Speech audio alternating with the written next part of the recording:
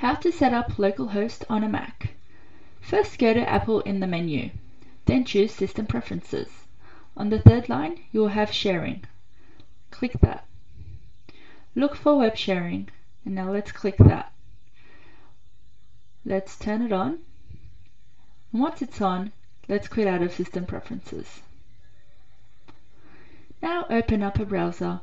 I prefer Chrome. Go to the address bar and type localhost forward slash tilde your username. Press enter. Here we see the default website. To edit, go to your Finder window, click your username, then Sites. Here are the default files that are rendering your current page. Let's delete it. Now refresh your localhost. It's empty and we have directory browsing on. Now let's open up TextEdit, which can be found in your applications. Notice we have a formatting menu. This means we aren't in plain text mode. Go to Format in the menu, then choose Make Plain Text. Now we can make a quick page. Let's put in the opening and closing HTML tags as well as the opening and closing head and body tags.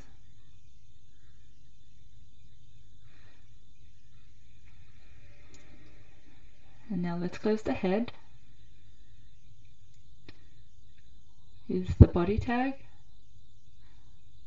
And let's close the body tag. The head is where we add meta information. Let's add a title. Open title. My site. Close title. Now in the body, let's add some content. Let's add a heading. H1, my site, and close H1. And let's add a paragraph and quickly explain what this site is. And close the paragraph. Now let's save the file. Go save as or command S. Navigate to sites. Let's create a new folder so that we can work on many different sites. Now let's save the file as index.html. We use index as this page will come up if we navigate to the folder via your browser as a rendered page instead of a listing. Now let's refresh the page in the browser.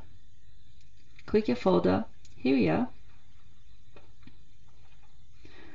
Now we can also type, apart from localhost, we can type 127.0.0.1.